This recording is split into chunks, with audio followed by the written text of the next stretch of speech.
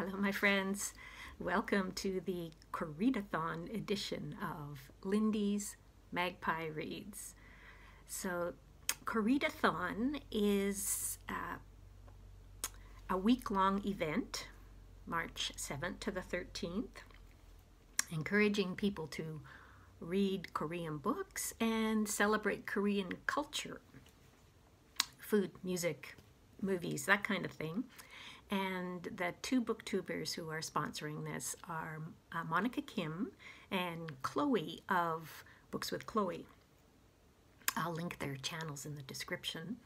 And I'm so glad that they're doing this because I had a great time. Um, I read six Korean books in this past week, and I've got um, a lot of food things to talk about.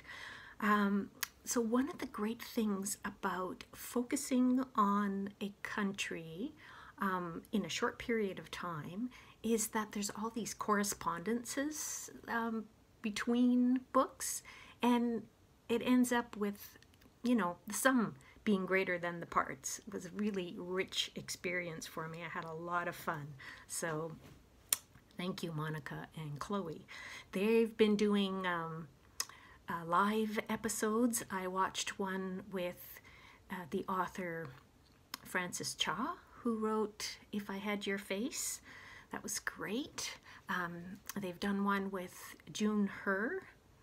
Uh, I've read a couple of her books, and uh, I'm sure it'll be fun to watch after the fact, even though I missed it while it was live. Um, when I was watching the one, the the live program with Frances Cha, she said that she has a picture book coming out next summer um, based on a fable, I think. Anyway, it's called The Goblin Twins, and I'm really looking forward to that. So, what did I read? Um, this is also a fable, Moon Pops, uh, and it's by Heena Baek, who is a very well-known illustrator uh, in Korea, but this is the only book of hers so far that's been translated to English. Uh, Heena Baek won the Astrid Lindgren Memorial Award in 2020. So I imagine that she will be having more things um, coming out in English. That award honors um, outstanding contribution to children's literature. And uh, so the, the type of art that she did for this particular book um, is this huge diorama. And I'm going to link to a short video of her talking about her art because you can see this diorama is about as big, it's almost as tall as she is. Um, it is a, an apartment where you can see in through the windows on a hot, hot night. I'll show you some of the images on screen instead of trying to show you the book because it's not going to come up good in the video anyway, so I'll pop those in here. Uh, so basically the moon is melting on a hot, hot night and everybody's using electricity and the power goes out and um, someone who has collected these drops of moon moon drops makes um, some ice cold uh, frozen treats for everybody uh, but then um, someone comes knocking on the door. Who can that be now? and for me, cue men at work music. anyway, it's the it's the rabbits from the moon. So that's the part I think that connects to a traditional uh, Korean fable. Actually, it's also told in China, various versions. I think in Japan as well, with the rabbits in the moon pounding their rice for rice cakes anyway, uh, this book is great. Lots of fun. And it's, it's so cool to look at the um, exquisite work that she did with lighting and just creating all of the characters for this story. Um, another picture book that I read is The Turtle Ship. See if you can read that. Which is also using collage illustration. And this one is written by Helena Ku Rhee and um, illustrated by Colleen Kong Savage. So it is based on a historical figure, the Admiral Yi Sun Shin, and he apparently designed um, a, a special kind of warship they call the turtle ship. And this story uh, is a picture book for kids. Oh, cat, Frida. uh, and it reimagines uh, his life as a child and his pet turtle and um, how his turtle inspired him to create this. Uh, the collage in here uses papers from around the world. Um, there's such gorgeous texture. I loved looking through this book. In addition to being a good story about um, how children can make a valuable contribution to society. Um, there is also, uh, you know, the artwork in it. That's fantastic. And one of the papers is um, a Korean handmade paper, a traditional paper that's made from the inner bark of a, a tree that's kind of like a mulberry, I think. Then I read a couple of graphic nonfiction. And the first one is Grass. The author is um, Suk Gentry Kim. And this was translated by Janet Hong. Uh, it is uh, a difficult book in the sense emotionally difficult. Uh, journalist uh, Keum Suk Gentry Kim interviewed Granny Lee Oksun, who was a comfort woman. So uh, she was one of the many women who were held as sexual slaves for the Japanese Imperial Army. And uh, the art has all of these this thick black ink um, lots of smudgy marks uh, and it really conveys the trauma that these women went through uh, but she also intersperses a lot of um, images of plant life, trees, grasses, flowers, and it it gives the spirit a break. I found, um, you know, as I was reading through it. Um, yeah, a nice soothing element.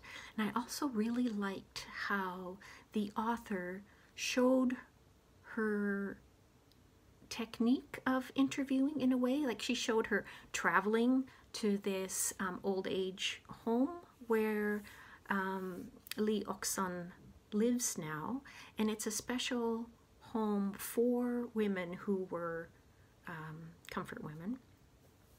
And, you know, so they have this shared history. Uh, it I highly recommend this book. It won um, a Harvey Award for Best International Graphic Book and at, least three other prizes as well. Um, I just think it's an outstanding portrayal of oppression and dealing with trauma. Next, there's Palimpsest. And um, this is by a Korean Swedish author, uh, Lisa Wool-Rim Sjoblom, and it was translated by uh, Hannah Strömberg, and also the author and the author's husband, Richey Wyver. Sjoblom's situation is that she was adopted at two years old um, from Korea to Sweden, and she had great Swedish adoptive parents. Uh, but her uh, experience growing up in a, in a small town in Sweden is that there weren't very many people who looked like her. She did have a best friend who was also a Korean adoptee. So in the 70s and 80s, uh, there was a, a lot of babies and young children who were adopted from Korea. And as Sjoblom got older, she, you know, she got it to be more curious about her first parents. Um, so when she was pregnant with her first child, she's in her mid 20s by this point, um, her doctor asked her about her mother's pregnancy because it could affect, uh, you know, that she would have a similar medical situation. And she knew nothing, of course. Uh, she did try when she was 17 to find information about her um, first family and was told there was nothing. Um, there was no way to track them down. Um, but 10 years later, she did uh, persevere. And so most of this book is about that. Uh, and, and what she uncovered was a whole um, adoption industry, you know, the dark side of adoption, especially, I guess, transnational adoptions, where uh, people made a lot of money. Uh, and supposed orphans weren't necessarily orphans. So I, um, I'm not going to tell you what she found out, but I will say that she's now a um, an adoption adoptee advocate, uh, an activist, and this is a fascinating, fascinating story. Um, in her first visit to Korea, when she was tracking down information, um, one of the things that really struck her was how everywhere she went, people were so helpful and friendly. Um, they were eager to spoil her children with treats and affection and attention. And she realized that this was really unusual um, from in her experience because in Sweden, the strangers were treating her as intruders, and um, and they would even come up to say demeaning things to her. Um, and she said that in Sweden, our guard was always up, shoulders raised. Here we can finally relax and just exist. On her last day in Korea, her host there makes bibimbap, um, and that's the author's favorite food, and it happens to be mine too. Next, I read this novel, Winter in Sokcho, by Lisa Shua Dusapin, and it's translated from French by Aneesa Abbas Higgins. And this won the National Book Award for Translated Fiction. It is told in first person in the voice of a woman who's um, an outsider in this town where she grew up, Sokcho, which is way up in the northeast of South Korea. It's quite close to the North Korean border. And um, she never knew her father, who was French. Uh, and because she's of mixed ethnicity, she is treated like an outsider in the, you know in her hometown. Um, you know, people talk to her in English, for example, instead of Korean. And um, she works in this really shabby guest house and it's winter. It's a beach town, so it's off season. Um, it actually gets so cold one night that uh, some of the pipes freeze. But there aren't very many guests. So one of the guests is a woman from Seoul who's had um, cosmetic surgery. So her face is all bandaged up and she's just there, you know, recovering from the surgery, which made me think of Frances Cha in her book, If I Had Your Face. Uh, but the most important guest of the story is this uh, comics artist who is from France. And he and this narrator, this woman, um, go to different places together, like the, the uh, demilitarization zone. It's another example of cross-pollination with these, these other books because um, Lisa in Palimpsest also travels there. So I'll show you an image of that from palimpsest. And the woman's mother is a fishmonger. I'm going to show you another image from palimpsest uh, of them going to a fish market. It's not the fish market in Sokcho, this one is in Busan. But the woman in this story starts um, having romantic feelings towards the comics artist and she's finding that he's using her to help him interpret what he's seeing as he visits Korea. And she really wants him to be seeing her. Uh, it's a very poignant story, evocative, haunting, with an ambiguous ending. I thought it was great. I really liked it. Um, one of the passages in here um, relates to fables. So since I read a couple of fables this week, I thought I'd read you this passage. Uh, this is between the Frenchman and the narrator.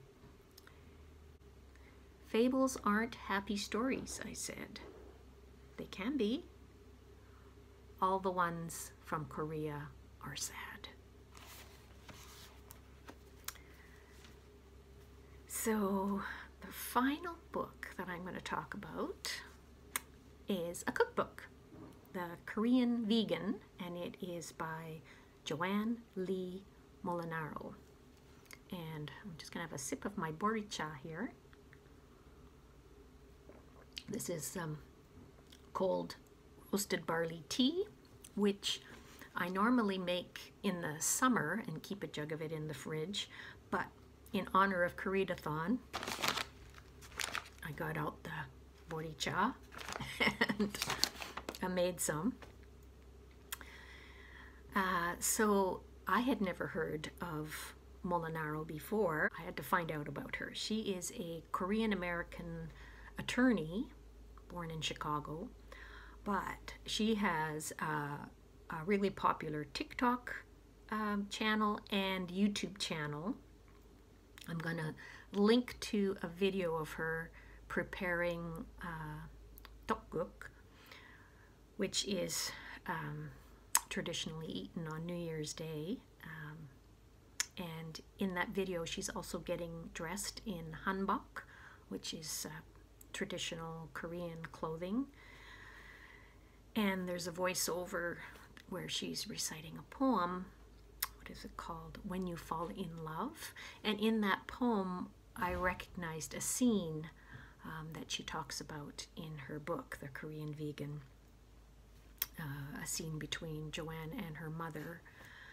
The video is only two and a half minutes long, and it's beautiful. So, uh, obviously many other people have heard of her. Um, she's got 613,000 subscribers, including me now.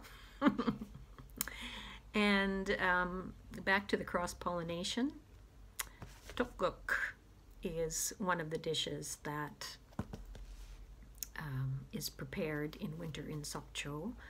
And um, there is another element in Korean vegan. Oh yeah, where she talks about her mother's radish soup being a cure-all And in Winter in Sokcho, the narrator offers to make radish soup for this French guy. This is the kind of cookbook that has a lot of really interesting um, sort of memoir type information in it, as well as interesting headnotes. So even though I didn't make anything from this cookbook, I really enjoyed reading it. Um, so she talks about why she stopped eating meat um, and how that decision affected her feeling of Koreanness, um, you know, her identity, because of so many special dishes, you know, that are made for, for special occasions that are made with meat, like um, bulgogi. So she has a recipe in there for one that uses soy curls for that.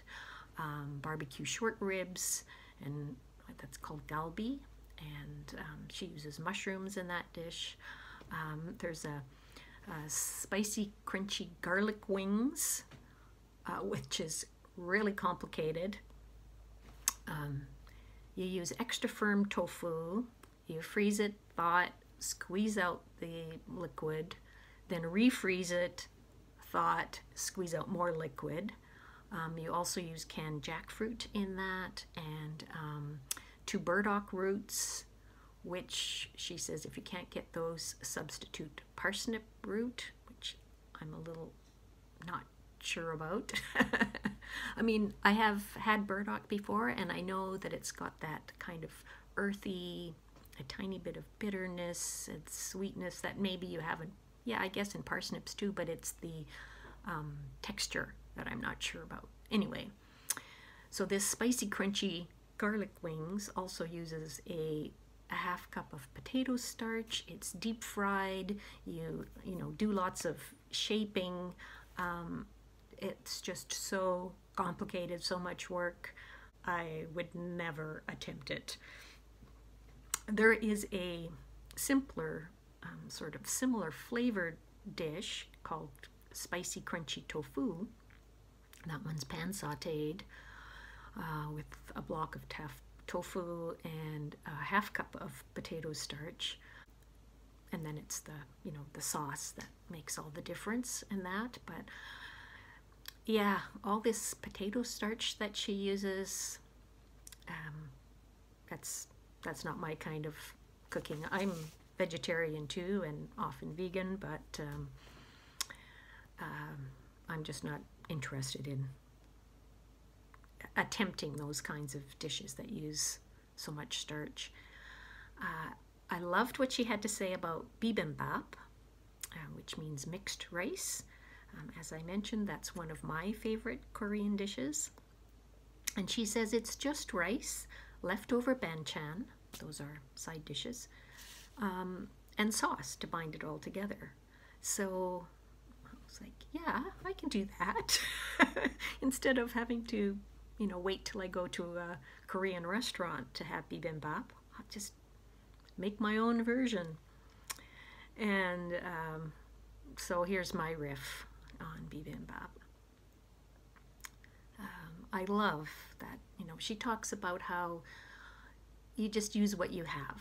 Um, so with, uh, you know, a kimchi um, bokkeumbap is basically kimchi fried rice, two ingredients that all Korean cooks tend to have on hand.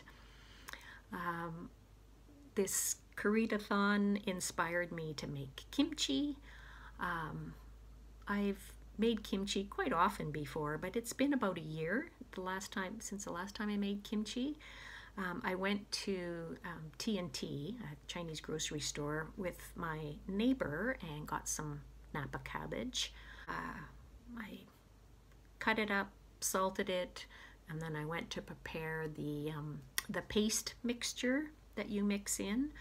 Um, with, I had all the minced garlic, chopped up the ginger, and then I got out my package of gochugaru, which is the Korean pepper flakes, and it had gone moldy.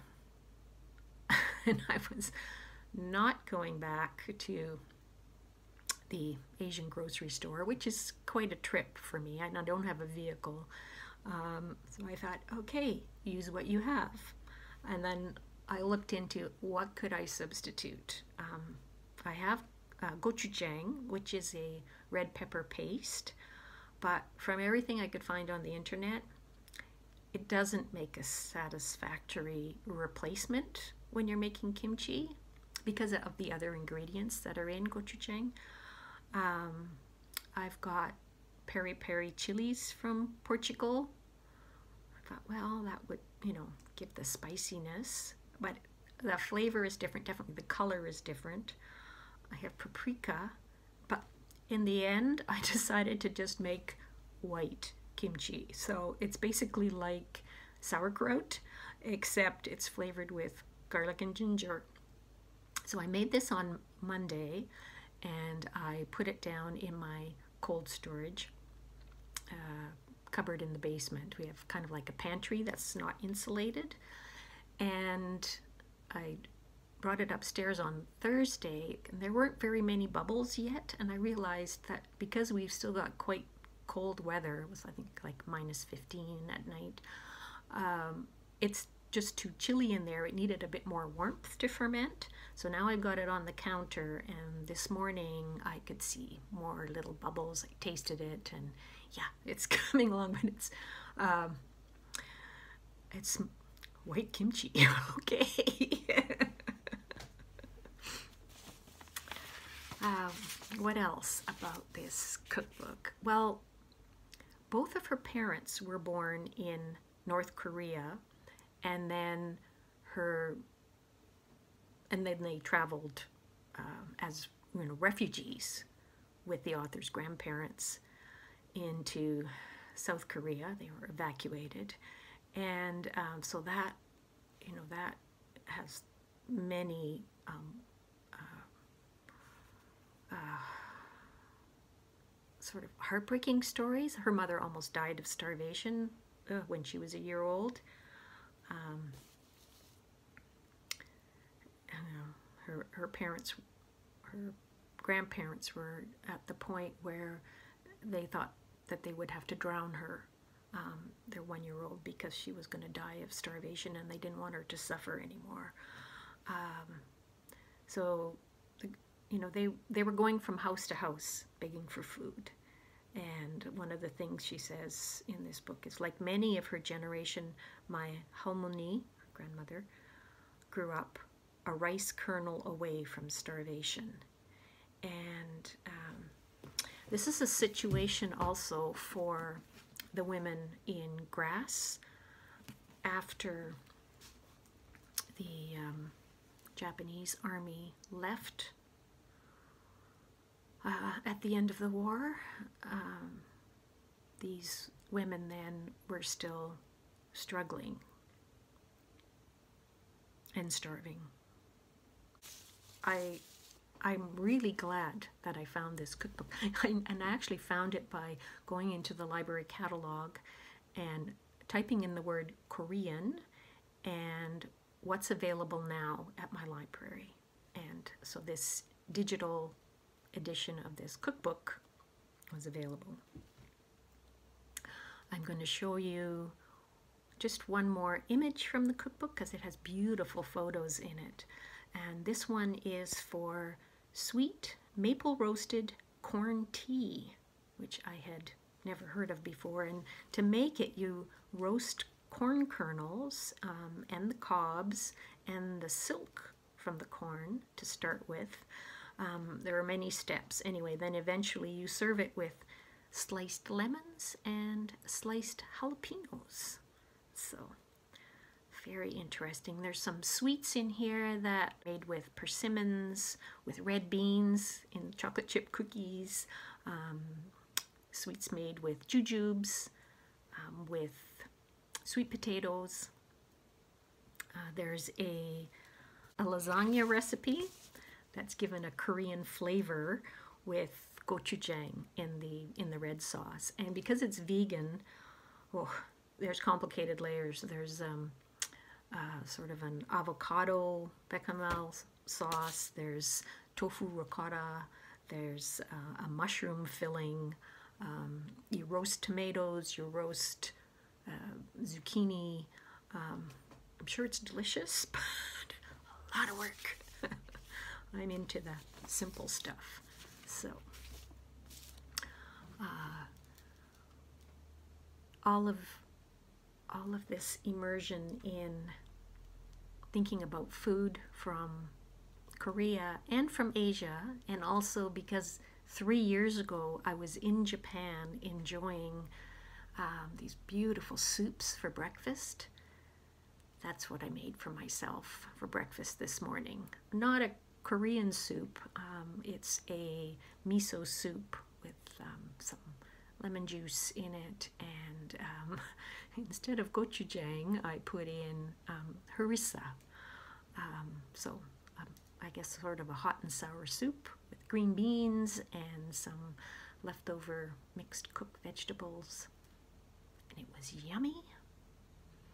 And I hope you have yummy stuff to eat today too. There are two books on the International Booker long list that are from Korea. Cursed Bunny by Bora Chung and Love in the Big City by Sang Young Park and both of those are translated by Anton Hur and I want to read both of them and there's another booktuber that I follow that is participating in Koreadathon. That's Katja of Read, Write, Create. Um, if anybody else who's watching my channel is participating, um, please let me know and I'll go and watch your videos too because I'm all enthusiastic about books from Korea now. All right, I think that's everything. Thanks for watching and bye.